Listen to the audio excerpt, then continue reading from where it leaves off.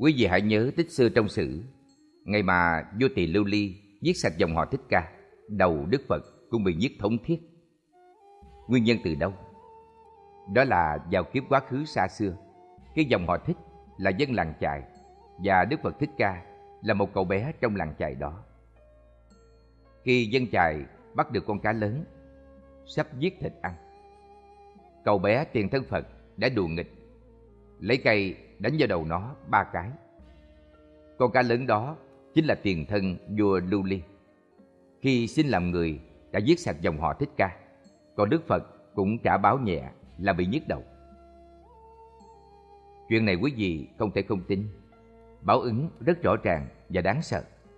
Vì lý do này mà Phật nghiêm cấm sát sinh. Không những Phật từ bi với con người mà còn thương cả đến loài trùng kiến nhỏ bé. Bởi vì trong cái nhìn của Phật, tất cả chúng sinh đều có thể thành Phật. Trong kinh Phạm Vọng nói, tất cả nam nhân là cha, tất cả nữ nhân là mẹ. Chúng sinh trầm luân lưu chuyển trong sáu đường, từng làm cha mẹ quyến thuộc của nhau. Vì vậy, giết hại chúng sinh cũng xem như là giết hại cha mẹ. Người đời không biết, không tin thuyết này nên mặc tình giết hại, ăn nuốt lẫn nhau. Quý vị cần tin sâu nhân quả. Nếu tin sâu nhân quả, thì trong lòng dù chưa sửa đổi, hành thiện cũng đã thành. Vì mỗi khi hành động suy nghĩ, quý vị luôn biết thận trọng cân nhắc. Cho nên hành vi sẽ tự nhiên ứng theo chiều thiện. Những ai thường gặp tai nạn là do ác nghiệp, biệt nghiệp chiêu cảm nên. Phải biết những tai họa xảy đến là do quý vị đã từng gieo nhân ác trong quá khứ. Thế nên các tai nạn, binh đao, chiến tranh, lục lội, quả tai, địa chấn, thảy đều do nghiệp quả chín mùi. Đã tới lúc trổ nên quý vị phải nhận. Nhân thiện chưa quả thiện Bằng chứng là trong hai trận thế giới chiến vừa qua, chỉ có Hoa Kiều ở Úc là được bình an. Vì sao ư? Vì trong tiền kiếp, bọn họ không hề tạo nghiệp sát.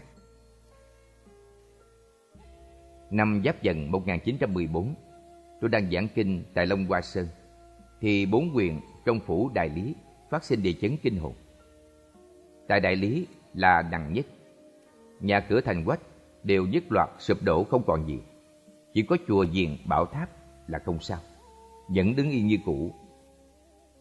Trong cơn địa chấn, đất rung chuyển, nứt nẻ trầm trọng, còn phát sinh lửa dữ, cháy ngùng ngục tràn lan. Người ta tranh nhau chạy tránh nạn, thì dưới chân đất bồng nước ra, làm họ bị lọt xuống bắt kẹt trong đó. Họ cố hết sức trèo lên, nhưng vừa ló được cái đầu thì đất liền khép lại. Các đầu đứt lìa nằm mắc kẹt lại trên đất. Cảnh tượng hải hùng nhìn giống như người đang sống mà bị hãm trong địa ngục, cắt chém hay lửa thiêu, thảm đến mắt chẳng nỡ nhìn. Mấy ngàn hộ dân trong thành tử nạn gần hết, sống sót rất ít. Trong đây có hai tiệm vàng, tiệm vạn xương của họ Triệu và tiệm trạm nhiên của họ Dương. Khi lửa cháy đến nhà hai gia đình này thì liền tự tắt. Chỗ họ ở cũng không hề bị địa chấn. Mỗi hộ này chỉ có mấy mươi người, nhưng thảy đều bình an vô sự. Nguyên do là hai dòng họ này đời đời ăn trường chay, lại hay làm phước bố thí nên mới chiêu cảm được quả lành hy hữu như vậy. Ai biết đến chuyện họ cũng đều xúc động. Đã là Phật tử thì quý vị phải thấu suốt lý nhân quả khó nghĩ khó lường này và tin sâu công nghi. Nếu tin sâu nhân quả thì quý vị sẽ tự nguyện hành thiện, trì giới, trường chay và không còn dám sát sinh. Hòa thượng hư dân Con cá ngát Tôi sinh năm 1982. Ngay từ thời bé tí, tôi rất có hứng thú đối với Phật Pháp. Mười mấy tuổi thì bắt đầu tiếp xúc Phật giáo. Lúc xem lục tổ đàn kinh thấy dễ hiểu, đối với kinh văn rất ưa thích. Nhưng bản thân nghiệp chướng còn sâu nặng nên tôi chưa thực sự tu trì. Bởi dù có xem sách, kinh, tôi chỉ hiểu càng cận bên ngoài. Mãi đến năm 2009, tôi có duyên lành gặp thầy Tịnh Không, nghe giảng kinh vô lượng thọ và cánh cửa lớn về con đường sinh mệnh mới bỗng đại khai trước mắt tôi. Lúc đó tôi tập tu niệm Phật, nhưng phát tâm chưa đủ mạnh trì niệm không liên tục và hay gián đoạn, tâm tiến thủ không tăng. Mãi đến sau khi trải qua kinh nghiệm báo ứng rồi, tôi mới thực sự thay đổi trên đường tu. Mùa đông năm 2009, tôi theo chú đến thẩm quyến tạm trú. Chú rất ưa câu cá. Một chiều nọ, chú câu trong hồ được con cá ngát nặng 8 kg. Đem về nhà, tôi hớn hở ra tay giết nó. Thật xấu hổ vì tôi quá ngu si. Khi tôi đập đầu nó liên tục bảy tám cái, nó dãy dụa rất dữ. Lúc đó trong lòng tôi niệm sân bừng bừng khởi, muốn trừng trị nó cho hả giận, nên thẳng tay xuống đao. Ba ngày sau, tối đó tôi nằm ngủ, đang mơ màng thì bỗng cảm giác như có một đôi tay to lớn không ngừng đấm nền déo ngắt tôi còn dùng thân thể quá dị, cực nặng của nó đè lên tôi. Trong lòng tôi rất sợ, nhưng không biết làm sao. Tôi vội niệm nam mô a di đà phật liên tục. Tôi niệm mãi, không dám nghĩ gì khác. Khoảng 10 phút trôi qua, thì thấy bên ngoài cửa sổ phía trước tôi xuất hiện ánh bạch quang. Dần sáng này không chói mắt, ấm áp, khiến người ta cảm thấy dễ chịu. Lòng trở nên an tĩnh và từ dung đức phật hiện ra trang nghiêm vô tả. Trước phật, còn hiện ra một ao nước. Bên trong có rất nhiều hoa sen, mỹ lệ vô cùng. Ngay giây phút đó, tất cả hoảng sợ trong lòng tôi đều tan biến. Trải qua kinh nghiệm này rồi, tôi hiểu rõ nhân quả có thực không dối. Nếu không nhờ phật bồ tát cứu, ác tôi đã gặp rắc rối lớn. Thế là tôi dũng mãnh sám hối, hành vi sát sinh tụng kinh hồi hướng cho những chúng sinh bị mình giết. Qua kinh nghiệm này, tôi tin phật, bồ tát luôn ở bên chúng ta. Lúc nào cũng sẵn sàng trợ giúp. Chỉ cần ta nhất tâm tu hành, niệm danh ngài miên mật, thì cảm ứng sẽ phát sinh, sẽ được quy lực của ngài gia trì, che chở. Kể từ đó, tôi phát khởi tính tâm kiên cố đối với phật pháp. Lý năng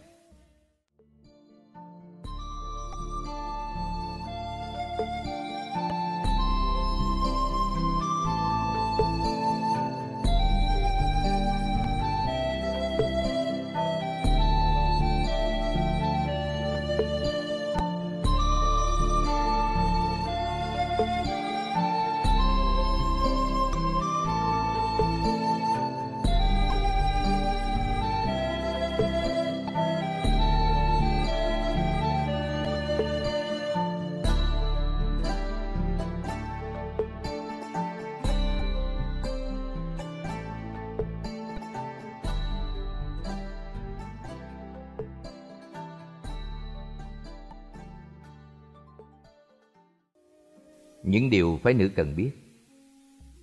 Bài thuyết giảng của bác sĩ Bành Hâm. Hôm nay trong hội trường này Tuy quý ông hiện diện tới 80% Nhưng tôi vẫn xin giảng về những điều cần tránh Cực kỳ quan trọng dành cho phái nữ. Bởi vì đây là chuyện hệ trọng Liên quan đến sức khỏe Và vấn đề sống còn của các cô.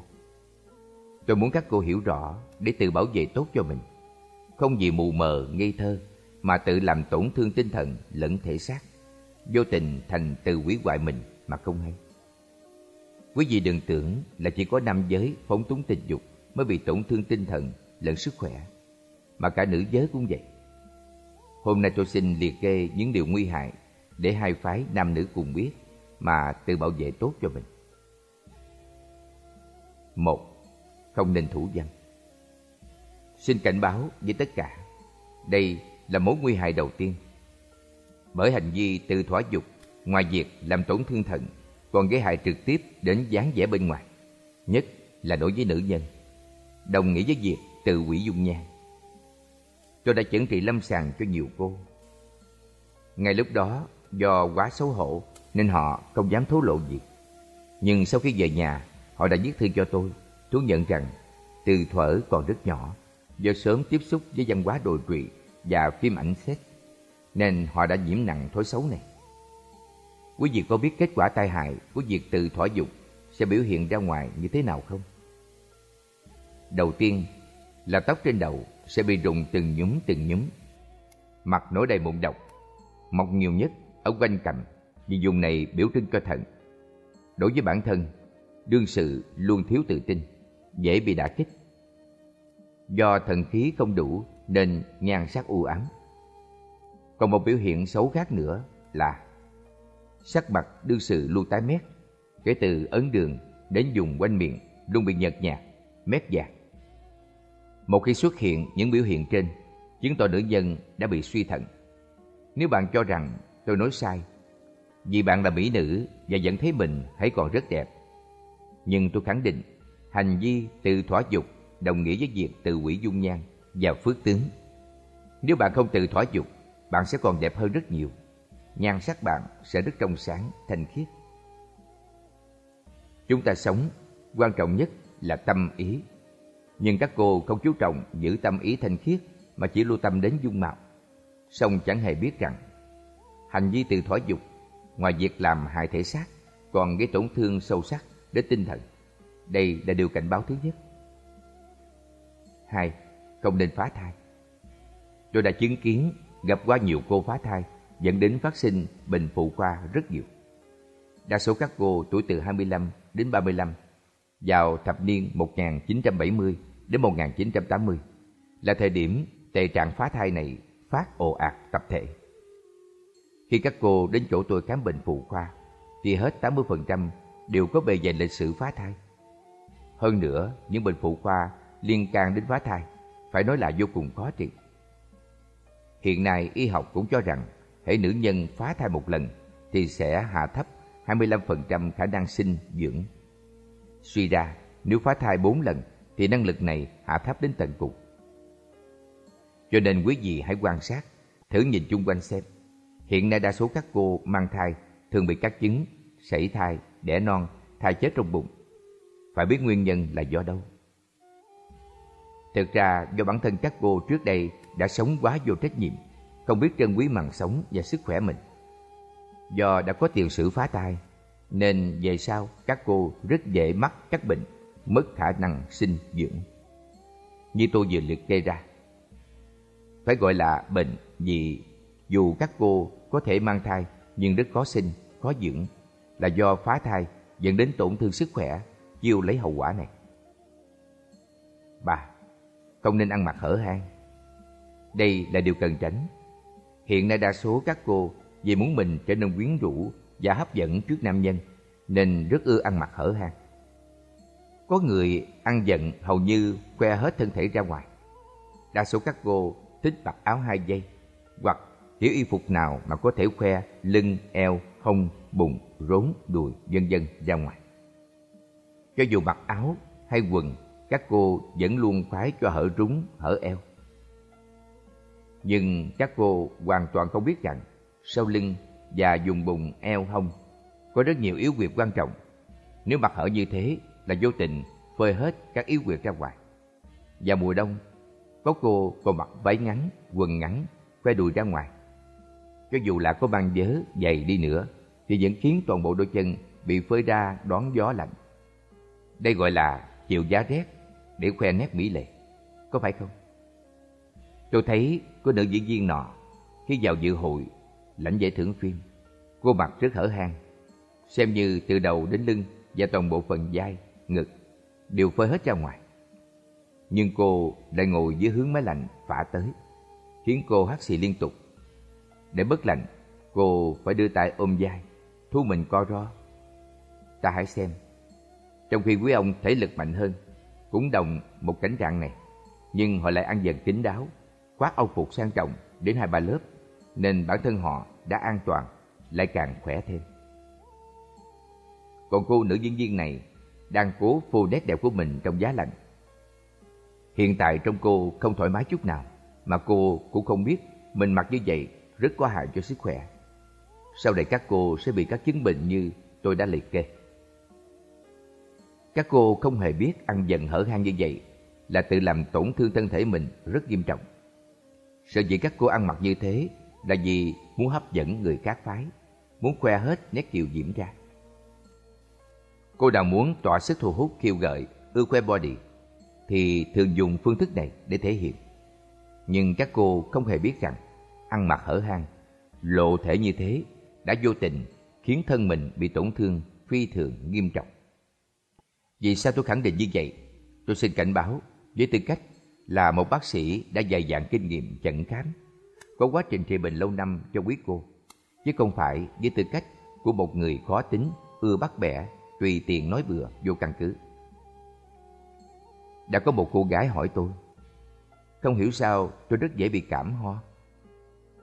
Có phải trước đây cô ưa mặc áo hở lưng? Đúng thế, tôi rất hay mặc kiểu y phục này. Cô mặc vào thời tiết nào? Thường là vào mùa hạ. Phải biết, vào mùa hạ, nơi thân thể người dương khí hay bị phát tán ra ngoài. Do thân toát mồ hôi nên lỗ chân lông nở to. Lúc đó cô lại mặc y phục hở hang. Vì tưởng rằng vào mùa hè oi bức sẽ không có vấn đề gì. Nhưng cô quên rằng hiện đã trong nhà đa số chuyên xài máy lạnh. Một khi cô bước vào phòng lạnh thì hàng khí kia sẽ xông thẳng vào người cô.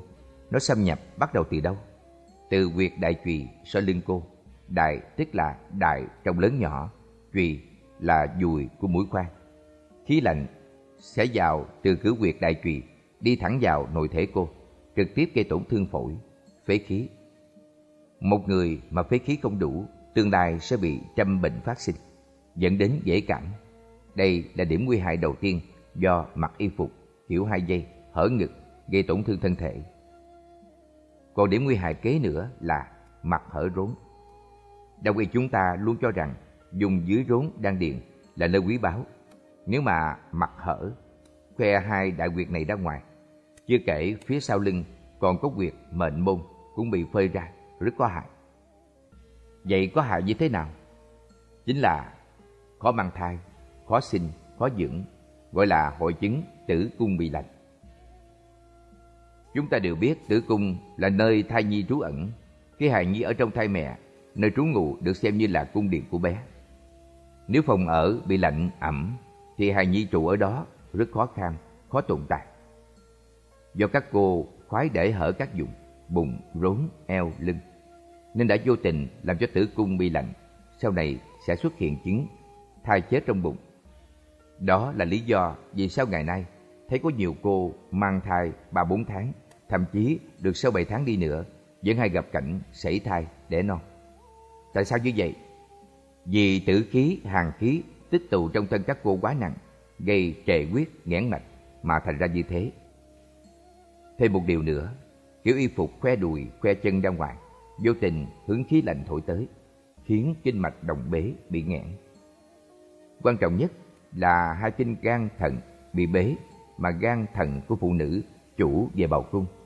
Một khi hai kinh mạch này bị bế, thì tương lai các cô sẽ mắc các bệnh phụ khoa như tử cung sinh bướu, bụng bị viêm. Còn một chứng trạng nữa, đó là bệnh gì? Xin thưa, chính là trong tương lai, khi các cô quá 45 tuổi sẽ bị bệnh phong thấp. Vào năm 2003, tôi giữ nhiệm vụ đón tiếp và phiên dịch, giảng dạy cho một nhóm người Âu qua đây xin tìm hiểu khoa chăm cứu ở nước ta. Sau khi họ quan sát các cụ già nơi đây xong, ông trưởng đoàn ngạc nhiên phát biểu.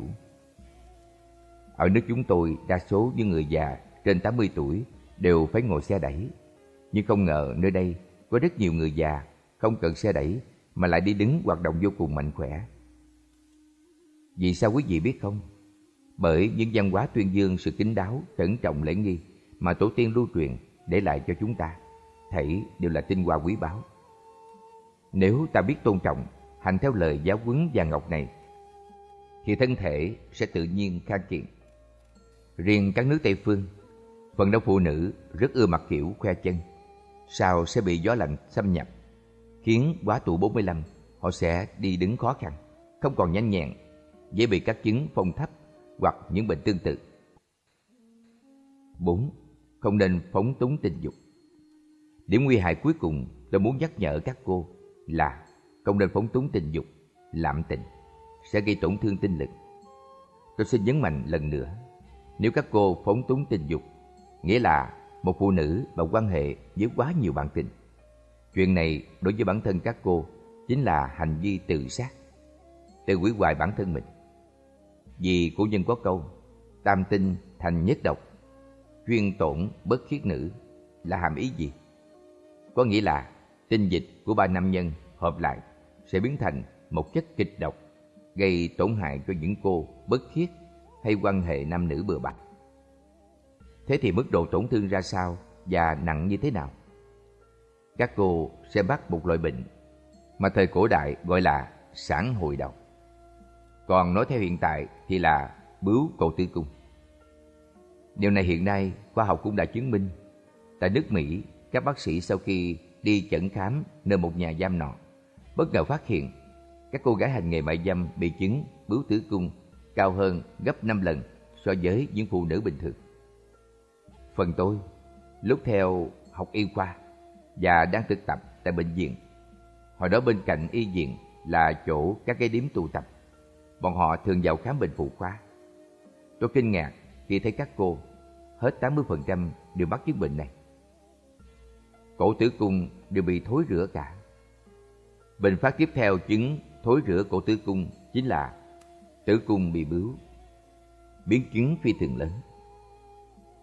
Sau bao năm làm trong ngành y, tôi dám khẳng định, những người hành nghề mại dâm bị dướng các bệnh nguy hại kia quả thực nhiều vô kể.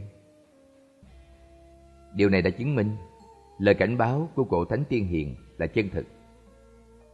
Nếu các cô bất tuân hoặc gì không biết mà cứ sống buông thả, phóng túng tình dục, thì chính là đang tự hủy hoại mình, tự chiêu mời và rước vào những căn bệnh khủng khiếp. Tôi chỉ cảnh cáo thôi, vì nếu tôi biết mà không chịu nói ra thì rất là có lỗi. Nhưng tin hay không, có chịu bảo vệ và yêu quý thân mình hay không, đó là phần của quý vị.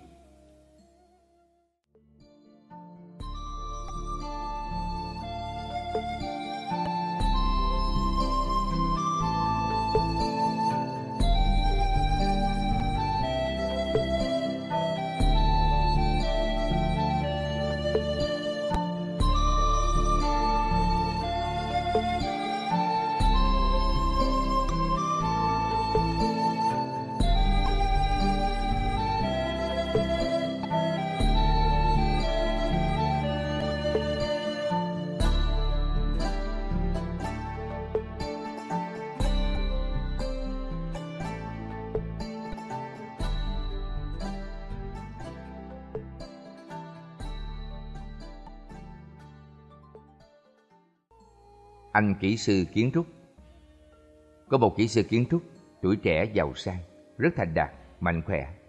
Quanh năm lui tới Giang Tô dẫn các công trình đại thiết kế. Tuổi còn trẻ mà giàu kết xù, nên vô cùng đắc ý. Ông tha hồ phóng túng tình dục, tận hưởng quan lạc. Đến năm 45 tuổi thì phát bệnh. Khi đi khám mới hay là bướu phổi thời kỳ cuối sau đó anh tìm đến với Phật giáo.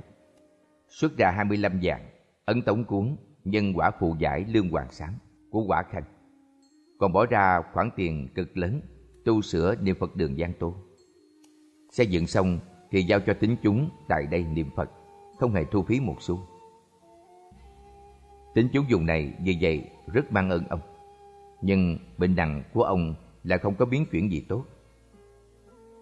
Sau nhân duyên hội đủ Nhờ một cư sĩ dùng này giới thiệu Ông được gặp cư sĩ Quả Khanh. Ở trước mặt Quả Khanh Ông khóc to, thống thiết sám hối Kể ra bao ác nghiệp của mình. Nào là trốn thuế Lấn chiếm tiền tài trên lẫn dưới Thậm chí còn phóng túng tà dâm đủ kiểu. Do giàu có Nên ông tìm ăn đủ thứ sơn hào hải vị Không gì mà chưa từng nếm qua. Thậm chí cả thai non, thai hư Ông cũng chế thành mỹ vị mà thưởng thức. Quả Khanh nhắc ông, muốn sám hối phát lộ thì nhất định phải sám cho đạt được thanh tịnh. Bắt buộc phải thông báo ác hạnh mình làm khắp thiên địa để cảnh tỉnh thế nhân. Bản thân phải phát thệ, quyết không phạm lại nữa. Nếu làm được vậy, tội ác mới tiêu trừ, bệnh ông nhất định sẽ chuyện tốt. Bởi thế mới có câu, tội lỗi đầy trời sám hối liền tiêu. Nghe quả khanh khai thị xong, ông thống khổ nghẹn ngào, lập tức sám hối. Khai rằng mình còn duy nhất một lỗi tà dâm vẫn chưa đoạn trừ. Sau khi ông sám hối triệt để, đạt được thanh tịnh rồi, thì chứng bệnh nặng kia không bao lâu được lành. xem như ông từ cõi tử được hồi sinh. Lúc ông đến bệnh viện kiểm tra lại, thấy chứng bướu phổi thời kỳ cuối đã tiêu tan, nhưng trong phổi vẫn còn chút nước. Nhân đây quả khanh khai thị cho mọi người hiểu, bệnh là tự mình gây ra, nên cũng do mình trị. Nếu không chịu tu, không sửa hết mọi thói tật lỗi lầm nơi bản thân, thì dù có gặp Bồ Tát Quan Thế Âm cũng vô ích. Quả Khanh nói, con người ta có ba căn bệnh là tham, sân, si. Phương pháp trị rất đơn giản, phải dùng giới định huệ chữa trị. Trong bộ sách Bảo ứng hiện đời, toàn kể những câu chuyện có thực do Quả Khanh đích thân trải qua, chứng kiến. Khi tường thuật chỉ đổi tên người và địa danh. Thực ra chuyện gặp Hòa Thượng Diệu Pháp không phải xảy ra ở Ngũ Đại Sơn. Đó cũng chỉ là địa danh tạm đặt. Không ngờ sau này bị nhiều người mạo nhận giả xưng là Hòa Thượng Diệu Pháp và đi khắp nơi lường gạt. Họ còn đem ảnh mình in lên sách, quảng bá lưu truyền và mạnh dạn tuyên bố rằng ai muốn gặp Hòa Thượng Diệu Pháp một lần thì phải nộp một vàng. Vì vậy, xin khuyên mọi người, không nên lên ngũ đại sơn tìm hòa thượng diệu pháp nữa, bởi hòa thượng diệu pháp chỉ là tên tạm đặt. Có lần, ngài quả khanh đang giảng pháp, bỗng có một ông tiến đến hỏi, ngài là dương giáo sư? Con đọc xong câu chuyện, trong xưởng có gì nhà tôi có đó của ngài? Cảm thấy tình cảnh mình cũng giống như vậy bèn làm y theo, và bệnh lưng nhiều năm của con đã được lành. Nay mạo muội tìm đến để cảm ơn ngài.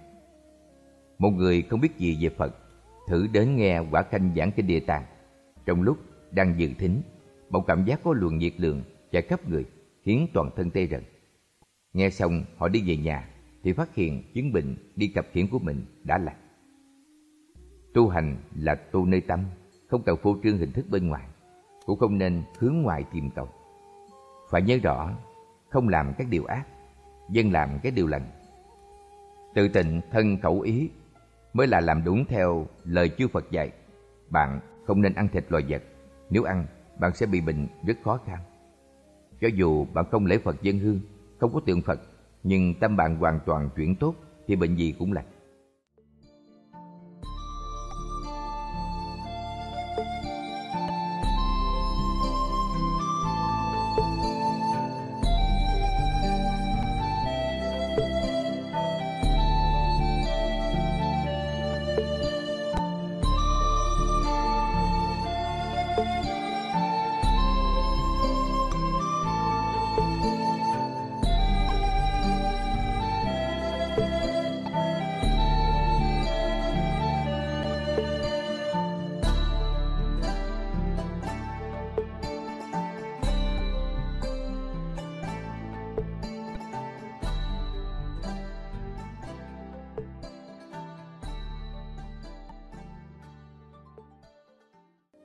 Về giao tế ăn mặc.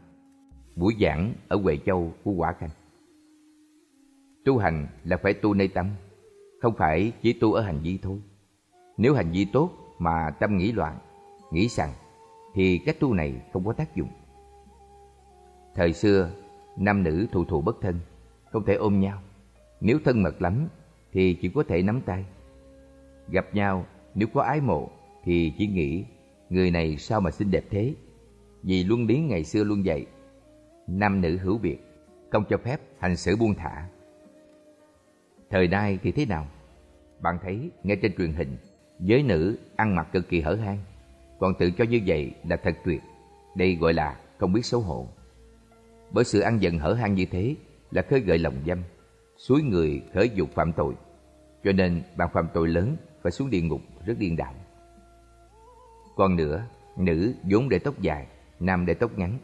Nhưng bạn xem hiện tại đi, nam nhân để tóc dài, uống, ép, sấy hay cột đuôi thắt biếm. Còn con gái thì để tóc như con trai. Mấy ông lại mặc y phục qua, nữ mặc màu xám, đen. Hiện tại đa số như thế ngược ngạo cả. Thời nay nam nữ mặc y phục rất lạ. Con gái mặc hở rốn, hở bụng, tỉnh bơ đi ngoài đường. Có lúc còn không mặc quần, rất là điên đảo. Mặt hở hang khiêu gợi như vậy có phải là để nam nhân nhìn thấy ta thì rào rực phát cuồng, bùng khởi ham muốn tình dục. Bạn có biết làm vậy là mình đang phạm tội chăng? Bạn có biết ăn mặc vậy sẽ khiến bao nam nhân khởi dục vọng tà niệm? Nam nhân phạm tội là do bạn khiêu gợi tạo thành. Bạn cũng góp phần suối bẫy. Việc phạm tội bạn có biết không? Lúc nghe tôi thuyết giảng, các cô gái ngồi dưới đài đều lộ vẻ xấu hổ. Bởi các cô thuộc con nhà rất giàu, ai cũng ăn mặc đẹp. Đa số toàn mặt hở ngực hở lưng, thậm chí khoe cả bụng rốn ra ngay trước Phật được. Nhưng các cô gái này vẫn ngoan ngoãn ngồi nghe tôi giảng. Cuối cùng tôi hỏi họ, quý vị biết động vật và người khác nhau chỗ nào không? Dạ có. Tôi hỏi, khác nhau thế nào? Các cô đáp, động vật không biết xấu hổ, còn con người biết xấu hổ. Đúng vậy, động vật mà luyến ái, thì con đực đuổi theo cái, bộc lộ dục vọng thẳng thừng. Còn loài người chúng ta thì biết e lệ giữ gìn. Bạn xem, chúng ta hiện nay cư xử dạng dĩ giống như động vật. Theo quan niệm đúng đắn thì phải là con gái luôn biết giữ thân, ăn dần kín đáo, khéo từ bảo hộ mình. Không nên khiêu gợi, làm người phát sinh tà niệm. Vì nếu gặp trẻ không tự khống chế được thì họ sẽ xâm hại. Đáng tiếc là thời nay, phái nữ ăn mặc càng lúc càng mỏng, ngắn, thiếu giải thậm tệ. Đến nỗi dù đi trên đường lộ hay lái xe vào công sở, nhìn đâu cũng thấy. Buổi sáng, các cô nghe tôi giảng rồi, thì chiều đó khi đến, tất cả các cô đều thay đổi y phục kín đáo, lịch sự, trang nghiêm. Như vậy đủ chứng minh, con cháu chúng ta vốn rất ngoan, chỉ vì không được ai chỉ dạy cho thôi. Bạn chỉ cần chịu khó giải thích, thì con cháu mình sẽ hiểu và không thèm ăn mặc lố lăng nữa. Giữ giới là tuân thủ hành những điều tốt cho ta lẫn người khác. Nếu mỗi cá nhân, mỗi gia đình đều hành đúng pháp, tất nhiên hợp đạo, ắt cuộc sống sẽ được thuận lợi. Ai sống thất đạo vô đức, tất nhiên phúc chẳng đến cửa. Tuy rằng chúng ta đang sống đây, nhưng thực sự ai cũng phải chết. Song bạn đâu biết lúc nào mình chết và sẽ chết như thế nào. Vì vậy mà sau khi nghe giảng, hiểu pháp rồi thì ráng tranh thủ tu hành. Như thế thì một khi cái chết đến, bạn sẽ không bị rơi vào cõi xấu. Hiện tại, dù bạn có tiền, có quyền thế, cũng đừng cho rằng mình luôn có kết quả tốt. Bởi cho dù bạn tốt tính thì cũng không chắc chắn chi. Nếu trong quá khứ bạn từng sát sinh, ăn thịt, tạo rất nhiều nghiệp xấu, hãy tự kiểm xem bạn đã sám hối chưa. Lương Hoàng Sám là bộ sám văn rất hay, rất hữu hiệu. Tôi mong mọi người hãy nương theo sự hướng dẫn trong đây, siêng năng sám hối. Trong tứ chủng thanh tịnh minh hối, Phật Thích Ca có nói, thời mạt Pháp, dâm tâm hừng thịnh. Mọi người đều súng nhau quảng bá dâm dục, ngày ngày tán dương dâm. Bạn xem có phải là thời này chăng? Hiện nay ở đâu cũng thấy quảng cáo, từ ngoài đường, phố xá đến báo đài, truyền hình, gì cũng quảng cáo. Nhưng người quảng cáo thường ăn mặc rất hở hang. Hôm kia đi trên đường, tôi đang chờ đèn đỏ thì thấy bốn cô gái bên cạnh mặc y phục hở cả lưng eo. Mốt bây giờ là mặc hở rốn, hở eo, phơi hết bụng ra. Quần hay váy gì cũng cực ngắn, còn mặc tụt xuống thật thấp. Không phải kiểu ăn mặc ít dạ như thế, chỉ có tại địa phương này mà khắp nơi. Đa số các vị mặc như muốn phơi thân hết ra ngoài, y phục càng lúc càng mỏng, ngắn cực kỳ. Người thời nay quá chú trọng chuyện phòng the, còn ca ngợi hướng dẫn chỉ bài dâm tà, thậm chí khuyến khích cả việc thủ dâm và cho đó là bình thường vô hạn. Làm vậy tương lai đều sẽ xuống địa ngục. Vì thế người tu phải thanh tâm quả dục, dốc sức đoạn trừ dâm dục. Vì chúng ta là phàm phu nên vẫn còn dâm tâm, nhưng phải lo khử trừ vọng niệm này. Quý vị có thể làm được chăng? Nhiều độc giả xem sách tôi, họ chỉ là những cặp vợ chồng trẻ độ khoảng hai ba mươi tuổi, đã có con viên mãn, sau hiện nay đều rất thích tu và quyết tâm đoạn dục. Đa số người thời nay ưa săn lùng thuốc tráng dương, cường âm, vì họ muốn làm tân đương tân lang mỗi ngày, nên xúm nhau lo kiếm thuốc săn ngực, chắc chân, bổ chỗ này, bổ chỗ kia, Nữ nhân thì khoái ăn diện hở hang đến mức muốn nam nhân nhìn các cô là khởi dục. Bạn có biết làm vậy là tạo nghiệp ác, sẽ chịu khổ báo đến cho bản thân mình hay không? Lần này khi đến phi trường Thượng Hải chuẩn bị lên phi cơ, tôi nhìn thấy tấm hình cô gái quảng cáo treo trên vách một tòa lầu. Hình cô được phóng to, lớn hơn nhiều so với người thật. Đó là một cô gái tóc vàng mặc bikini. Các ông vừa nhìn thì mắt liền dán chặt vào thân thể cô, chẳng muốn bước đi. Họ đều nghĩ, chà, sao mà bốc lửa bắt mắt quá. Đúng là cô gái này trời cho body đẹp. Tôi vừa nhìn thì cảm giác đầu tiên là cô ta rất đẹp. Nhưng cảm giác tiếp theo là tôi thấy rõ mồn một cô hiện đang mắc bệnh phụ khoa rất nặng. Nghĩa là sao đây? Bởi vì rất nhiều nam nhân vừa nhìn thấy cô, thảy đều dừng chân, ngó chăm chăm. Thân thể cô quả nhiên mỹ lệ và quyến rũ. Tại phía trường này, ngày nào cũng có đông người đến đây. Các ông vừa nhìn cô thì đa số đều khởi ý nghĩ sàng bậy, dục phát ảo ảo. Bởi cô ăn dần quá hở hang kêu gợi. Chưa hết, sau khi các nam nhân này về đến nhà rồi, thì trong óc họ luôn tơ tưởng đến hình dáng bốc lửa của cô. Kèm theo là ý tà dâm mãnh liệt. Như vậy rất không tốt. Tôi quan sát tiếp, thấy rõ cô gái này vẫn chưa chết, nhưng hiện đang nằm liệt trên giường, không thể cử động, bởi cô bị bệnh phụ khoa quá nặng. Có lẽ cô sống cũng không làm việc gì bậy, lỗi. Chỉ có chụp quảng cáo thôi. Nhưng chính vì cô mặc hai mảnh quảng cáo như thế, vô tình làm hại vô lượng vô biên người, cô đã phạm lỗi, âm thầm gợi dục, kích khởi dâm tâm người bộc phát. Vì vậy, các cô tuyệt đối không nên ăn mặc hở hang. Bạn muốn hở hang để lộ hàng, khoe thân thì chính là đang kêu gợi lòng dâm. Mà kích thích là một người sinh tâm dâm thôi thì tội đã vô biên rồi. Chúng ta hiện tại đều ca ngợi tình ái yêu đương, nhiều tình lắm dục để làm chi? Bạn muốn nam nhân nhìn bạn phải nổi dục, phát tình ư? Như vậy là muốn khơi gợi dâm tâm của người khác giới. Đấy chính là tội lỗi của bạn. Đối với bản thân bạn rất có hại, vì tội này do bạn tạo ra. Giống như cô gái trong hình quảng cáo kia. Cô chẳng có làm gì bậy, nhưng chính tấm hình hở hang của cô đã gợi dục, làm loạn tâm nhiều ông, thúc đẩy dâm tâm họ bùng phát. Hiện nay ta thường thấy những hình ảnh hay các cảnh quay quảng cáo, trong đó người mẫu hở hang tận mặt. Nhưng loại quảng cáo dạng này rất có hại và mang tội nghiêm trọng vì có ý gợi dục khơi dâm. Cho nên đã là đệ tử Phật, thực tâm muốn tu thì sát đạo dâm vọng chúng ta nhất định phải đoạn trừ. Cũng xin nhắn nhủ phái nữ khi đến chùa nên ăn dần kín đáo, không nên hở hang. Nên hở hang, Nên hở hang, Nên hở hang, trên hở hang.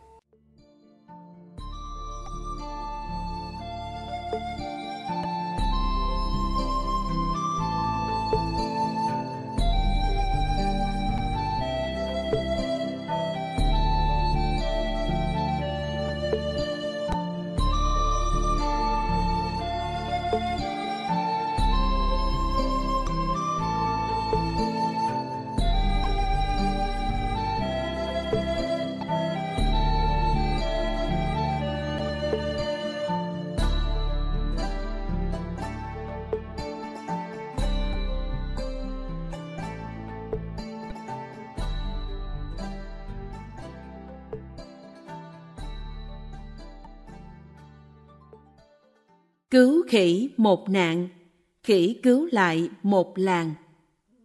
Tại khu rừng rậm Kim Phật Sơn, Trùng Khánh, có câu chuyện cảm động giữa khỉ và người như sau. Cuối tháng 7 năm ngoái, tại vùng núi phía Bắc, Sơn dân Vương Chí Thành vào rừng hái thuốc, gặp một con khỉ lông màu xanh đen hơn 2 tuổi, đang bị thương nơi tay trái. Ông liền bồng nó về, lo chăm sóc băng bó vết thương để nó nghỉ dưỡng trong nhà. Được một tuần, vết thương con khỉ đã lành, nó bèn ra đi. Nhưng hàng ngày nó vẫn quay về thăm ông Vương, thậm chí còn giúp làm việc nhà. Thỉnh thoảng có mấy chú heo rừng, nhím và các loài thú khác tìm tới trộm thức ăn hoa trái trong giường, thì con khỉ này thường xua đuổi, dọa chúng phải bỏ chạy. Một ngày cuối tháng 9, khoảng 3 giờ sáng, Vương Chí Thành còn đang say ngủ trong nhà. Bỗng nhiên nghe tiếng đập cửa dữ dội và tiếng la hét chí chóe, khiến ông tỉnh giấc. Ông dội mở cửa ra xem thì thấy con khỉ về thăm. Ông tiến tới ôm nó, nhưng thái độ nó lộ vẻ cuốn quýt lạ kỳ. Nó né khỏi tay ông và gấp rút kêu to. Ông Vương ngơ ngác không hiểu, con khỉ đưa tay chỉ về phía sau núi. Vương nhìn theo, ông kinh hoàng khi thấy trên núi đất đá đang đổ sụp và từng tảng đá to thì nhào rơi xuống không ngừng. Con khỉ đưa tay kéo ông Vương chạy. Ông Vương cuối cùng đã hiểu, nguy hiểm đang xảy ra, thế là ông lao vào nhà, lấy vợ, bồng con, tất cả cùng chạy bay ra ngoài. Tiếp đến, ông đi đập cửa từng nhà. Toàn thôn có năm hộ, tổng cộng hơn 20 người.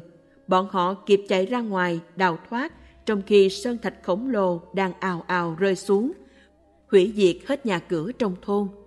Sau khi thoát chết, nhiều thôn dân xúc động, bật khóc, nói Thật nguy hiểm quá, nếu không nhờ con khỉ này cứu mạng thì chúng ta đều chết cả.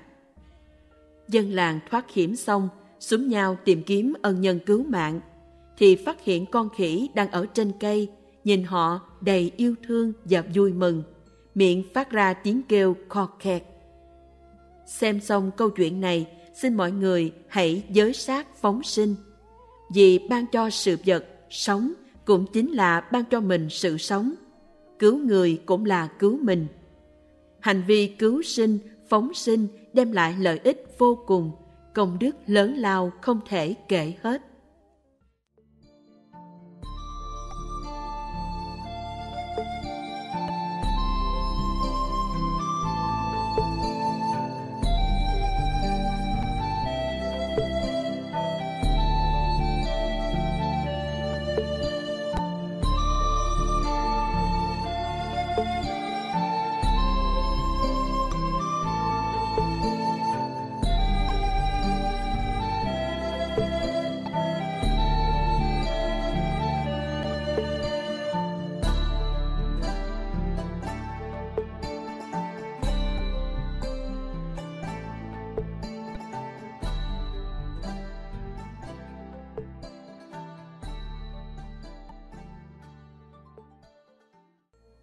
Một buổi quan sát nhân quả. Nghe Viện Dịch Kinh thông báo có cư sĩ Quả Khanh và con gái từ Thiên Tân đến chủ trì Pháp hội, giải đáp về nhân quả. Thế là tôi vội đến tham dự. Đây là lần đầu tiên tôi nhìn thấy cư sĩ Quả Khanh và con gái Quả Lâm của ông. Tôi hỏi, mình mới hơn 20 tuổi, vì sao tim thường đau? Hơn nữa luôn bị suyễn cảm thấy hay bị hụt hơi, khó thở. Nhưng y viện tìm không ra nguyên nhân. Tôi biết mình có bệnh, nhưng chẳng hiểu là do nguyên nhân gì. Lúc ấy, tôi hoàn toàn không nghĩ là mình bị bệnh do báo ứng nhân quả. Khi nghe tôi nêu câu hỏi, cả hai cha con đều nhắm mắt, chừng khoảng 10 giây, không nói gì. Sau đó, Thế Quả Lâm gật gật đầu, rồi lại lắc đầu. Sau khi mở mắt, cô ta bảo tôi, trên mình chị có vô số tôm cá cua, các loài thủy tộc hải sản. Tất cả đều tranh nhau tố cáo tội lỗi chị đã gây ra với chúng cho tôi nghe. Do vậy mà chúng không thể để cho chị sống an. Tôi lập tức phân bua là mình đã ăn chay. Quả Lâm lại nhắm mắt tiếp. Một lúc sau cô mở mắt bảo tôi. Những chúng sinh hành bệnh trên thân chị giải thích rằng dù đã ăn chay, nhưng chị lại sốt sắng chỉ dạy, hướng dẫn người cách nấu đồ ăn mặn. Chẳng hạn như chế biến món tôm như thế nào. Đến đây thì tôi cứng họng ngẩn ngơ vì câu đáp nằm ngoài sức tưởng của tôi. Cả đời tôi chỉ có một lần dạy người chế biến món tôm, lúc đó không có ai chứng kiến. Vậy thì tại sao lại có kẻ biết rành như thế? Lẽ nào những thần thức loài vật kia đều thấu rõ từng khởi tâm động niệm của tôi. Lúc đó tôi bật khóc, cảm thấy mình đã quá sai lầm. Ngay khi tôi thốt lời xin lỗi các con vật, từng bị tôi ăn, thệ rằng sau này chẳng những tôi không ăn mà còn khuyên người đừng ăn. Khi đó tôi khóc mùi mẫn. Nước mắt, nước mũi chảy chèm nhèm, bất kể tại hội trường đông đến năm sáu mươi người. Bây giờ thì cư sĩ quả canh lên tiếng. Ông nói tôi làm thế mới là chân thành sám hối. Ông khuyên tôi hãy bắt đầu niệm Phật để cầu Phật siêu độ cho các chúng sinh khốn khổ kia. Tôi mới niệm mấy câu Phật thì cư sĩ Quả Khanh nói Phật A-di-đà đã xuất hiện ở phía trên trung tâm của hội trường. Chúng tôi ngẩng đầu nhìn lên, lúc này tôi có cảm giác cực kỳ lạ lùng, giống như vừa được nhấc tảng đá to ra khỏi tim. Tôi cảm thấy lòng ngực cực kỳ sảng khoái dễ chịu và đã có thể hít thở một hơi dài thông suốt, nghe nhẹ nhõm kinh an vô cùng. Tim bây giờ đã hết đau, không còn khó chịu. Thật không sao diễn tả được trạng thái hạnh phúc, hân hoan lúc đó. Ngay khi ấy, tôi hướng về mười phương chư Phật Bồ Tát đảnh lễ, cảm tạ đã ban cho chúng tôi cơ hội trùng sinh. Tôi cũng hướng về cư sĩ Quả Khanh và Quả Lâm đảnh lễ, cảm tạ hai vị đã giảng giải, giúp tôi minh bạch nhân quả và còn chỉ cho phương pháp làm tiêu nghiệp. Nếu như trên con đường học Phật tôi có được thành tựu nào, tất cả đều nhờ công đức to lớn của hai vị đã hướng dẫn. Tiếp đến, cư sĩ Quả Khanh và con gái bận rộn giải đáp nhân quả và bệnh hoạn của mọi người cho đến khi tan giảng. Tối đó tôi về nhà rồi, phát hiện hai chân mình trước đây vốn không thể khoanh lại, nay đã có thể xếp bằng, còn có thể ngồi đến cả buổi. Nghe toàn thân nhẹ nhàng, có cảm giác công phu tu học Phật của mình đang tiến một bước dài so với trước đây. Vì vậy, tôi rất tự tin cho là mình không sao rồi. Nhưng tối đó khi đi ngủ, tôi bỗng phát hiện ra một việc rất kỳ quái. Hình như có nhiều Phật lạ đang du hành trên thân tôi. Hơn nữa, mục tiêu chuyển động của chúng thể đều hướng về phía trái tim và lồng ngực của tôi. Việc này xảy ra lúc tôi còn chưa ngủ, thần trí cực kỳ tỉnh táo. Tôi lặng lẽ theo dõi và phát hiện, đầu tiên có nhiều vật đang bò từ khuỷu tay lên đến bắp tay tôi, đồng thời có nhiều loài đang bò từ đầu gối lên tới bắp đùi tôi. Có nhiều vật đang bò từ bụng lên, những loài ở trên đầu thì đang di chuyển xuống. Nghĩa là sau lưng, trước mặt, khắp trên thân tôi đều có nhiều vật đang di chuyển. Có loài đi nhanh, có loài đi rất chậm, nhưng tất cả đồng nhắm chung đích đến là tim và ngực của tôi. Hình như chúng quyết chọn hai chỗ đó làm căn cứ trú ẩn. Cả quá trình này diễn ra chưa đến một phút. Tôi không thấy sợ hãi là nhờ đang niệm Phật. Tuy tôi đã đoán ra được phần nào sự việc, nhưng tôi cũng cần nhờ người có trí tuệ giúp mình xác minh cho chắc chắn. Mấy ngày sau, tôi đến tham dự hội thuyết giảng nhân quả của Ngài Quả Khanh và Quả Lâm. Cô gái trẻ ngồi cạnh tôi cũng có khả năng lần ra nhân quả giúp người. Tôi bèn nhờ cô xem dùm. Hiện có loài thủy tộc nào chưa chịu theo chư Phật Bồ Tát mà còn đang trú trên thân tôi? Cô này quan sát khắp thân tôi một hồi rồi đáp. Trên thân bạn có rất nhiều loài thủy tộc, cá, tôm, chân dân.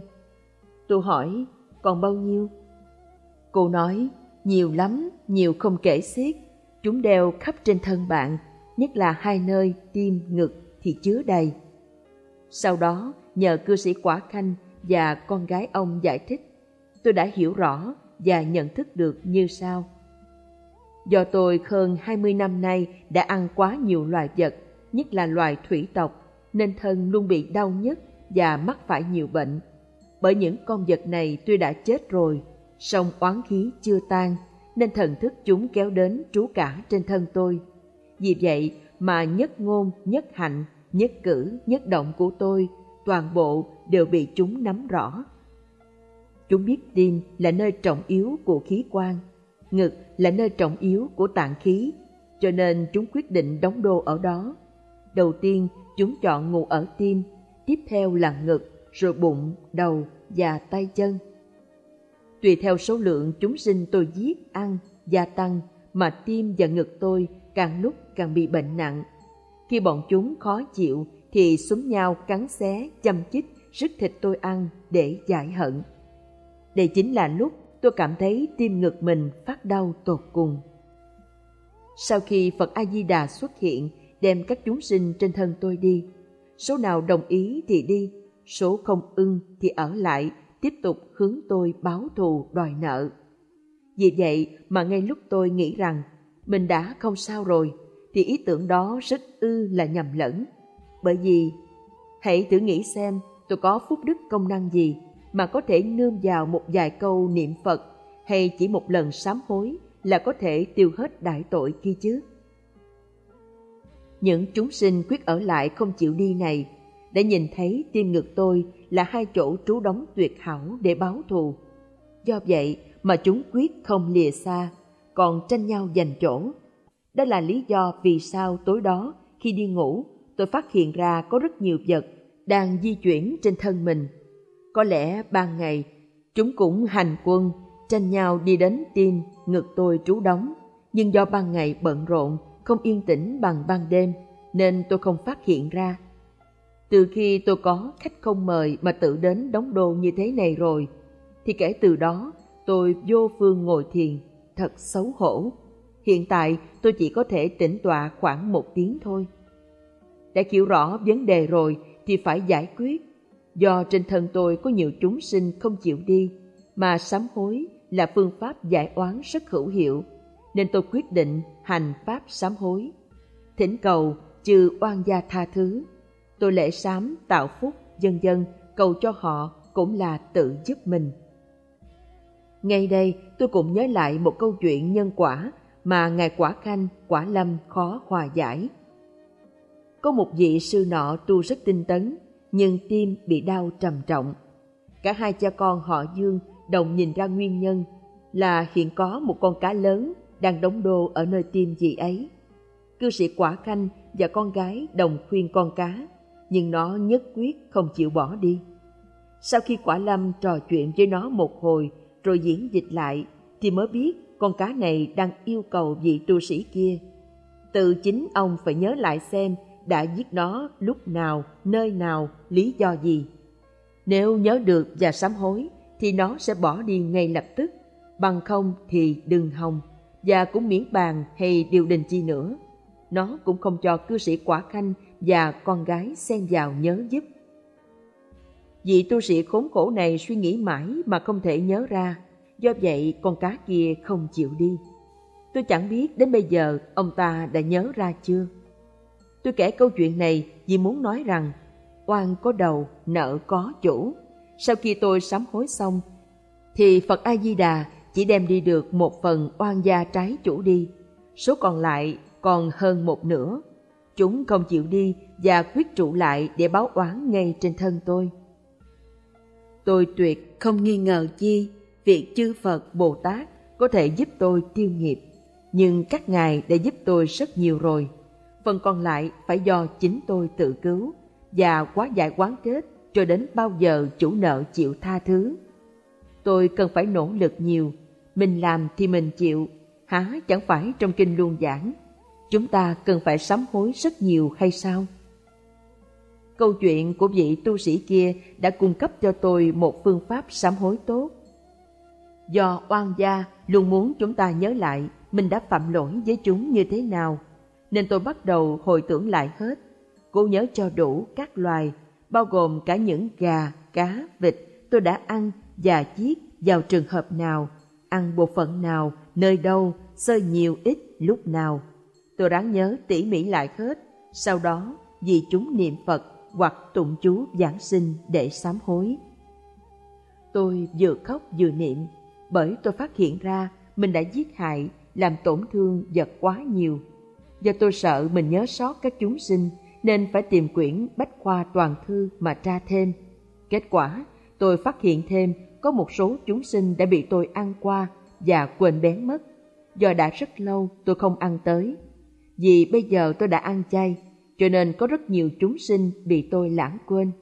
Tôi bèn vì chúng mà sám hối, hồi hướng và phát hiện ra cách này cực kỳ hiệu quả. Khi tôi vừa bắt đầu sám hối, tu sửa, thì phát hiện có rất nhiều loài đang chuyển động trên thân.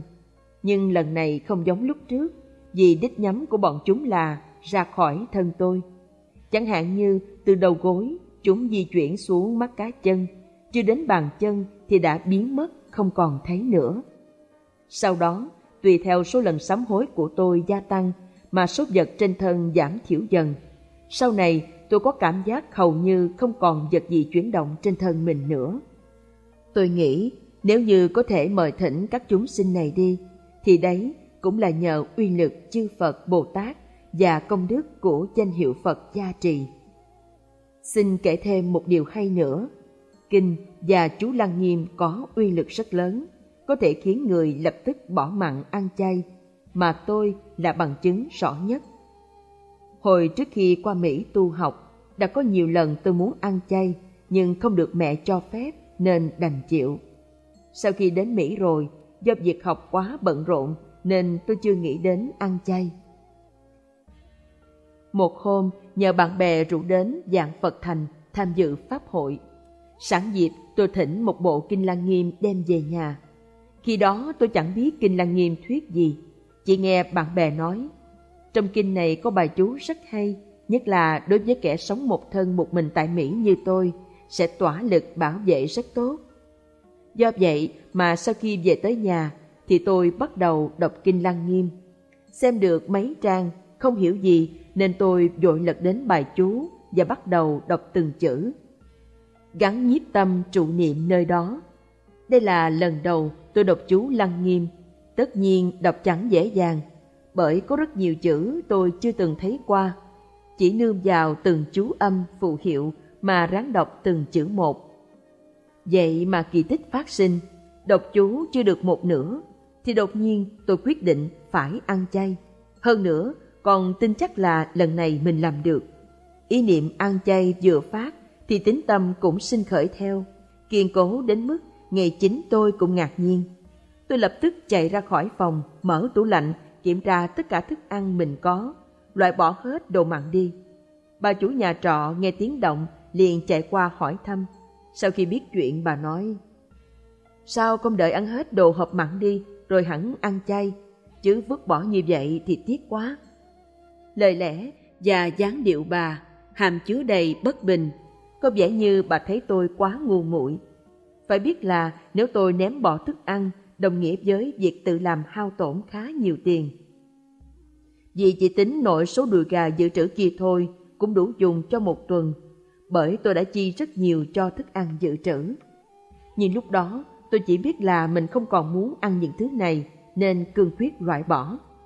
Khi nghe bà chủ nhà nói bà có thể dùng thì tôi tặng hết cho bà, làm bà mừng muốn nhảy nhõm.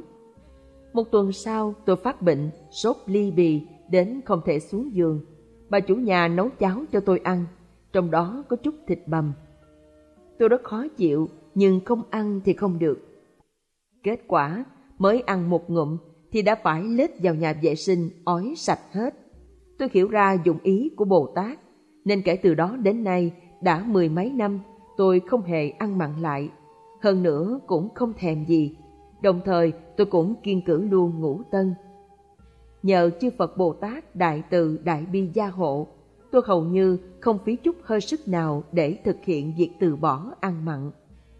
Tôi đã hiểu ra không nên cho người thức ăn mặn, cũng không nên mua đồ ăn mặn cho người dùng. Giờ đây, tôi tự biết tội mình đã tạo nên thiết tha sám hối. Tôi nghĩ số thức ăn mặn mình muốn ném bỏ kia đáng lẽ không nên cho bất kỳ ai. Tôi tốt nghiệp rồi thì đến cựu Kim Sơn, công tác. Trước khi tìm nhà thuê, tôi thầm cầu chư Phật Bồ Tát an bài cho tôi kiếm được một nơi công tác gần nhà, gặp phòng thuê tiện nghi, an ninh, chủ nhà biết ăn chay. Mối lo lớn nhất của tôi là việc thuê phòng, vì những nơi xem qua tôi đều không vừa ý. Cuối cùng thì cũng chọn được một chỗ. Khi tôi xem nhà và quyết định thuê, thì phải đến cửa tiệm của chủ nhà để giao tiền. Lúc này tôi kinh ngạc đến ngây người, vì tiệm của chủ nhà là một nhà hàng chay. Sau này tôi mới nhận ra, những gì tôi nguyện cầu không gì mà không mãn ý. Tôi quá cảm kích tri ân, bèn chí thành đảnh lễ chư Phật Bồ Tát. Đồng trọ với tôi có một nữ sinh viên. Hôm nọ khi tôi chuẩn bị làm cơm thì em cũng đang làm bếp. Trong lúc chờ đợi, tôi thấy em muốn làm món tôm nhưng phụng về không đành chế biến. Trước khi ăn chay, tôi là vua ăn hải sản, nên các món tôm, cá, cua tôi rất sành ăn, sành nấu. Ngay từ nhỏ tôi luôn được dạy, ăn hải sản thì phải chọn loại đang còn sống mới ngọt, ngon và bổ dưỡng. Dòm thấy cô Phụng về chẳng biết làm tôm như thế nào. Tuy tôi đã ăn chay nhưng tâm chưa thanh tịnh, vì tôi đã nổi máu anh hùng ra tay cứu giúp cho. Tôi lên mặt thầy chỉ cho cô bạn tỉ mỉ cách làm cách nấu, phải chế biến tôm làm sao cho ngon, cho khoái khẩu. Đến bây giờ thì tôi đã biết mình sai, nên ngay đây xin thành tâm sám hối. Đúng ra tôi không nên hướng dẫn chỉ dạy người cách làm đồ mặn. Do vậy mà tôi bị thần thức con tôm oán trách, đeo theo báo thù. Sau khi tổng kết, tôi rút ra được 8 điều quan trọng. một Tất cả những thức mặn đều không nên ăn, kể cả tam tịnh nhục. Xin đừng vì khoái ăn mặn mà mượn cớ đó để dùng thịt, cá, chim, hải sản, dân dân. Hai, muốn tiến trên đường tu, trước tiên cần giải quyết dứt điểm các tội nghiệp mình đã tạo, đặc biệt là nghiệp ăn thịt chúng sinh. Sám hối là phương pháp tốt nhất. Ba, Đừng một bề ý vào uy lực chư Phật, Bồ Tát hay tha nhân sẽ giúp đỡ làm tiêu nghiệp tội của mình. Bởi đây là việc không ai có thể chịu thay, vì oan có đầu, nợ có chủ. 4.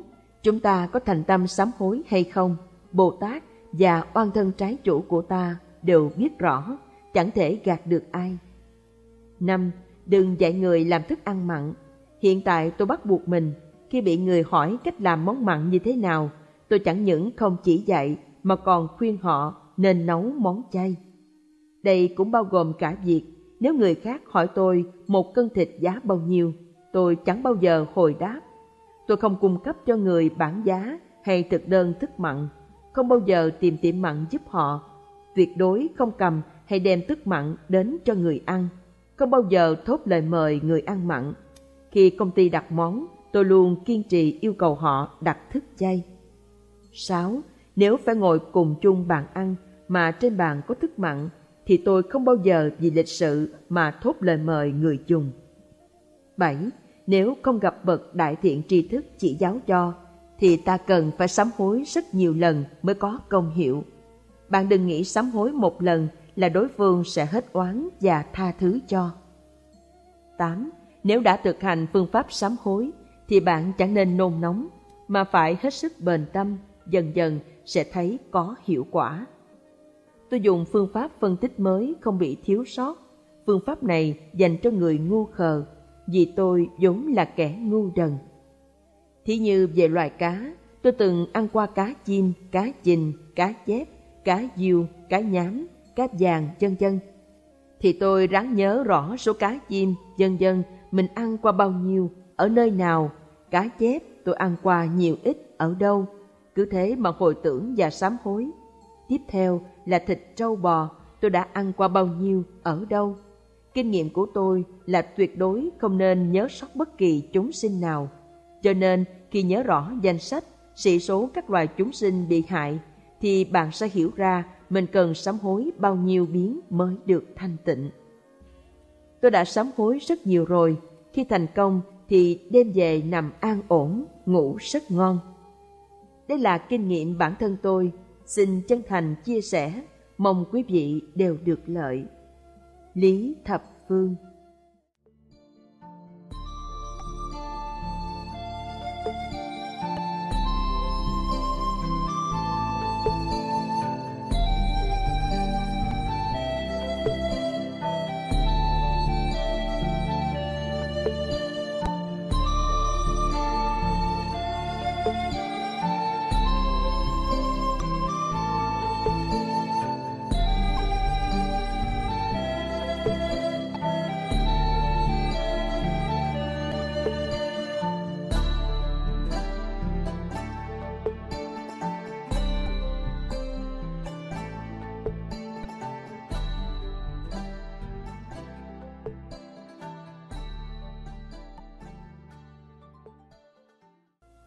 Không nên ăn cá.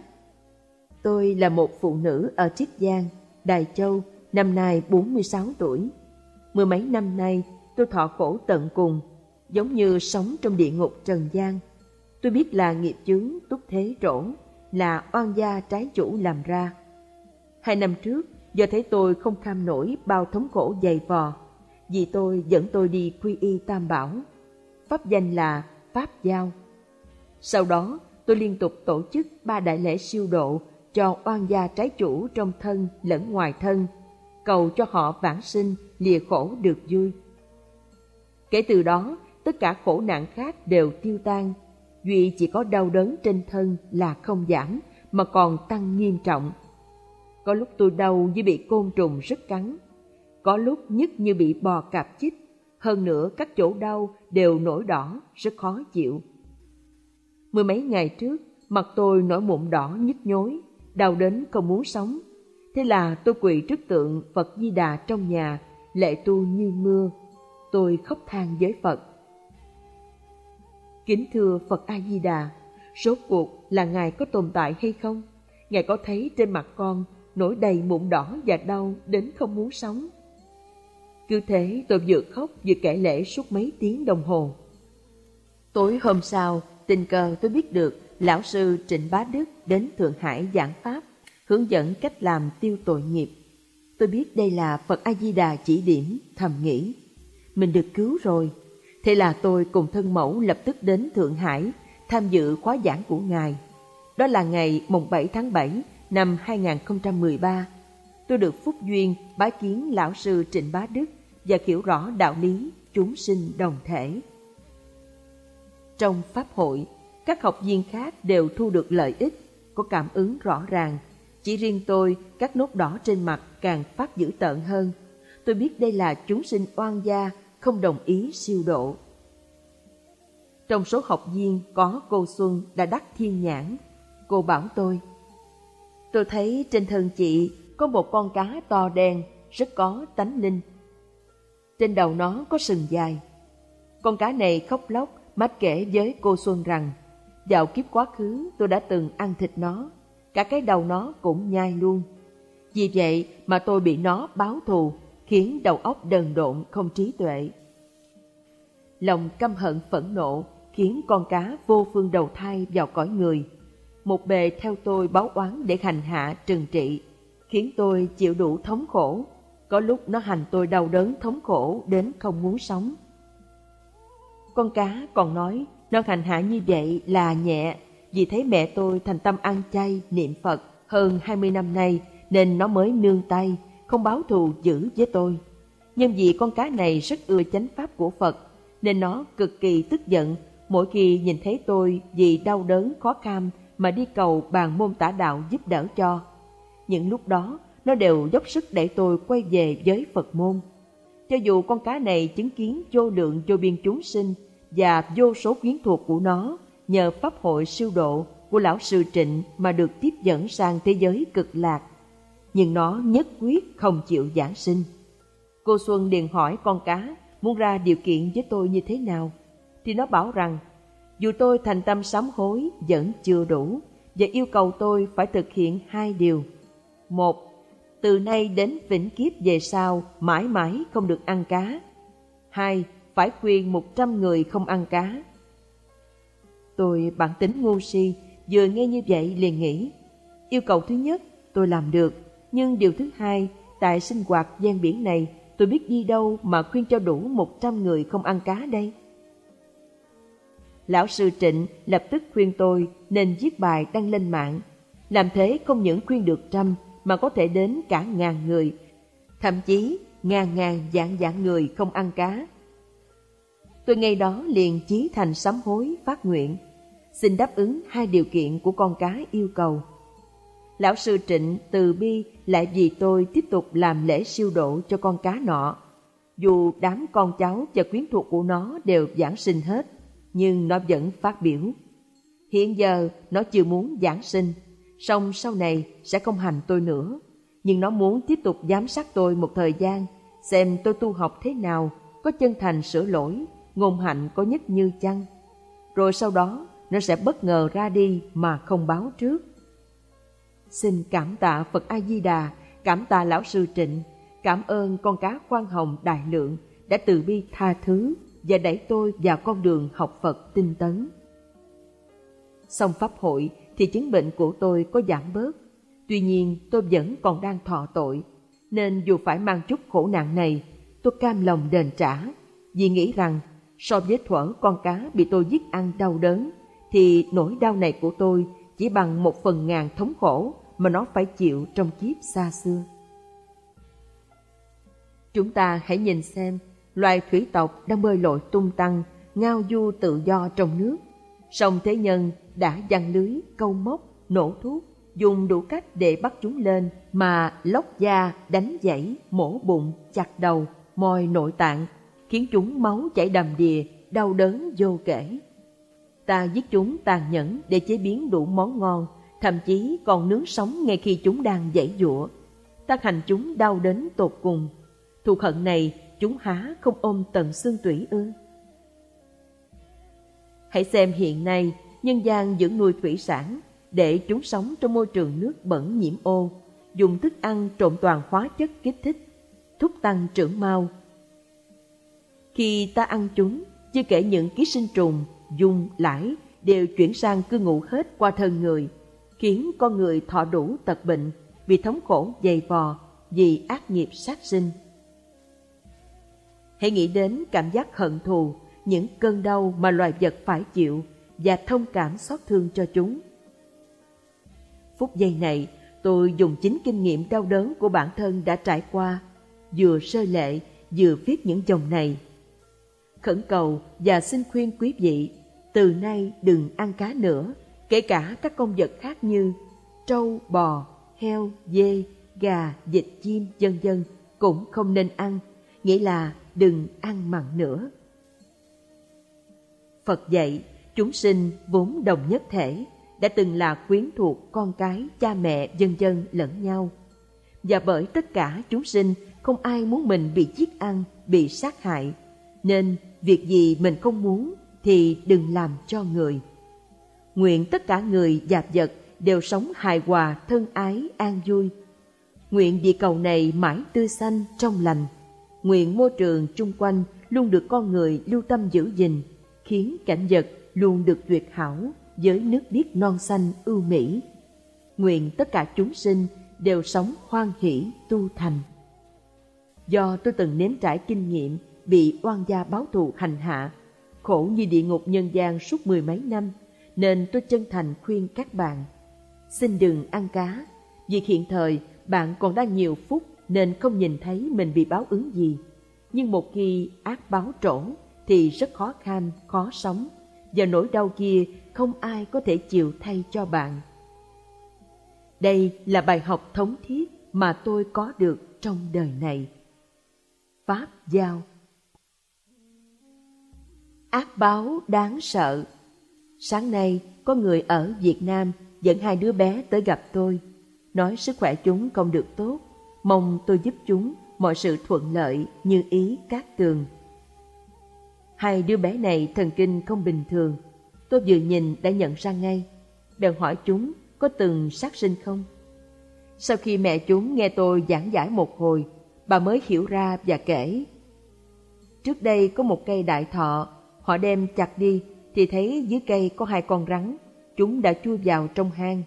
Lúc đó, hai đứa bé này đã dùng nước sôi đổ vào hang cho hai con rắn chết. Sau việc làm đó, con trai cả của họ tự nhốt mình trong phòng.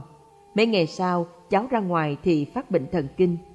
Đứa con trai đầu như thế, đứa thứ hai cũng vậy, cả hai đều bị bệnh thần kinh. Bà mẹ hy vọng tôi có thể giúp họ hóa giải việc này. Bệnh này liên quan tới sát sinh, do họ hành xử tàn nhẫn, không có lòng từ bi. Hai con rắn đã chui vào hang rồi, thế mà họ còn đổ nước sôi hại chết. Hai con rắn này vốn là hai anh em, bị họ hại bỗng chết thì bản thân họ cũng phát bệnh điên. Nghiệp sát sinh lạnh báo ứng rất nặng, cứ giết chóc rồi bị báo, hổ tương sát, hổ tương báo. Đây là việc rất bi thảm của thế giới. Dù mọi người không hiểu, không tin là tạo nghiệp sát sẽ phải lãnh ác báo. Nhưng chuyện báo thù đền nợ không ngừng xảy ra, tạo thành quốc chiến, tạo thành nghiệp sát hại lẫn nhau. Nghiệp sát càng sâu, tội tạo càng nặng, nên cứ giết chóc nhau mãi không ngừng. Vào năm 1980, có vị giám đốc từ Đông Nam Á xa xôi đến Vạn Phật Thánh Thành cầu tôi cứu giúp vì ông mắc bệnh ung thư rất nặng.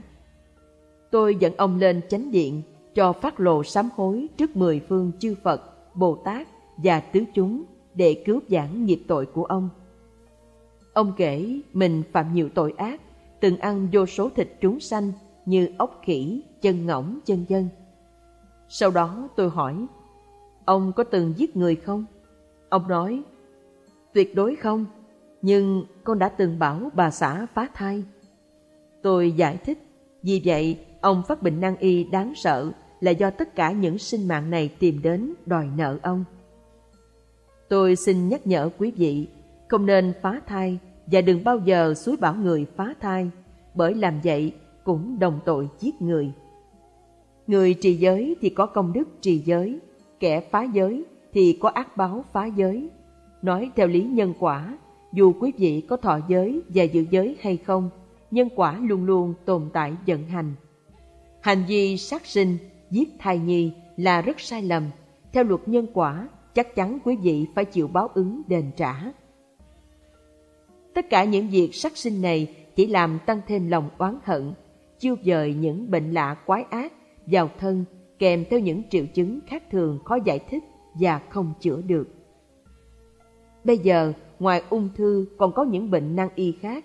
Những bệnh này đầu tiên bắt nguồn từ phạm giới tà dâm, sát sinh, ăn cắp, nói dối và dùng chất say, hút chích các chất ma túy.